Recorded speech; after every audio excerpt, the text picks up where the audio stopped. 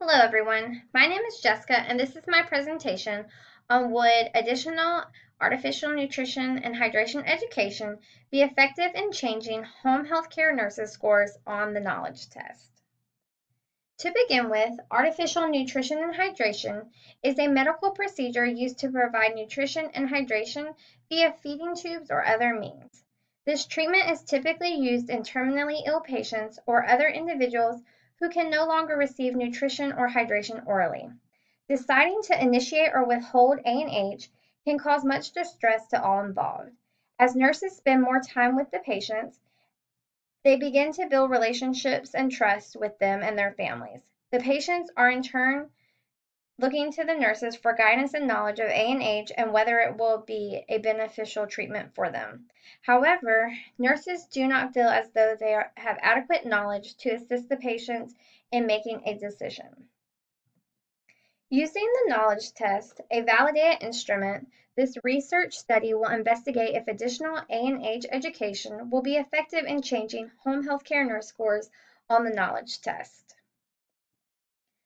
This test will allow home health care nurses knowledge to be measured concerning ANH.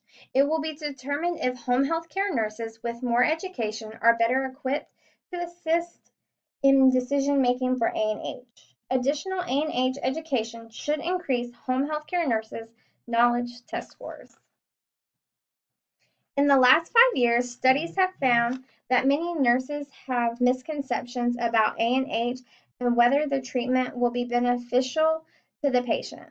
The lack of knowledge makes it hard for nurses to inform their patients with the benefits and risk involved.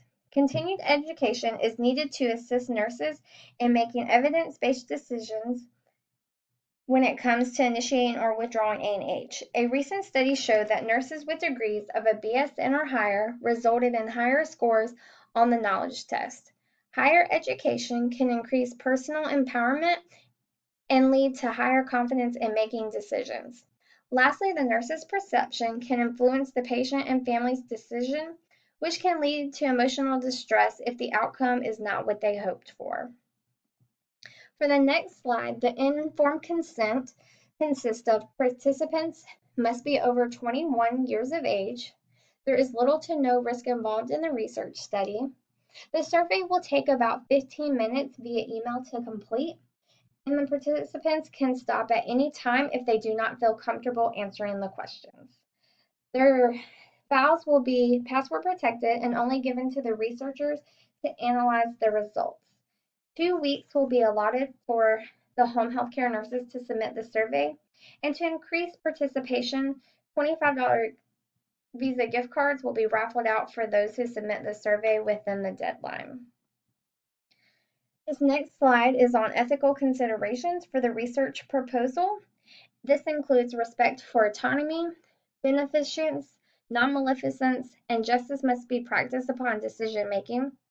Does the benefit of the treatment outweigh the risk involved? Religious beliefs need to be taken into consideration. The emotional well-being of all involved need to be considered as well, including the patient, family member, and healthcare providers. And also have the family member and the patient, are they having issues coming to terms with death?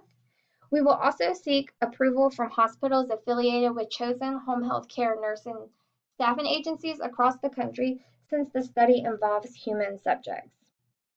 For this next slide, the methodology consists of a quantitative research approach with a cross-sectional survey with fixed responses.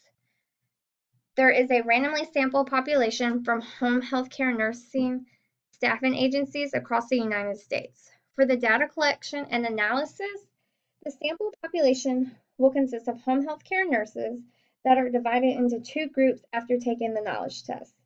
The groups are based on their degree level and the outcome will be measured using a scoring system and then the results will be compared with a t-test to see if there's a significant difference in the means. The next slide discusses the strengths and limitations of the research proposal. By using home health care nurses across the country, this will provide a better understanding of the knowledge deficits regarding artificial nutrition hydration and end of care life. across the country rather than one state or one demographic area. By using a larger sample size, this will hopefully lead to a higher response rate in the surveys being returned. And even though the surveys are online and are confidential, participants may not feel comfortable answering questions regarding their education status or might not understand the questions being asked. And finally, the anticipated results for this study indicate that nurses with higher education or those who received additional education in ANH are better equipped to make decisions when it comes to initiating or withdrawing ANH treatments. Also, the knowledge test results would provide evidence that higher test scores are associated with nurses who have more education. And lastly, the findings from this study would show that there is a need to offer additional education to home health care nurses in order for them to feel better prepared in providing suitable end of life care especially when it regards ANH treatment. And on this slide are the references used for the PowerPoint. Thank you and have a great night.